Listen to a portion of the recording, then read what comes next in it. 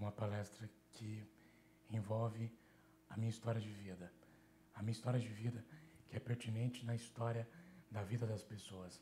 Um desafio que cada pessoa passa, vive e que envolve o desejo e as limitações.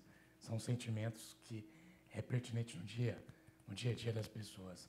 Se tratando das organizações, das empresas, posso dizer que ela potencializa a, o trabalho, a produtividade dos colaboradores numa organização, mostro, compartilho as experiências de vida que eu tive através dos desafios. Sabemos que nos desafios que nós crescemos, que a gente consegue traçar um plano, um planejamento e conquistar os nossos objetivos.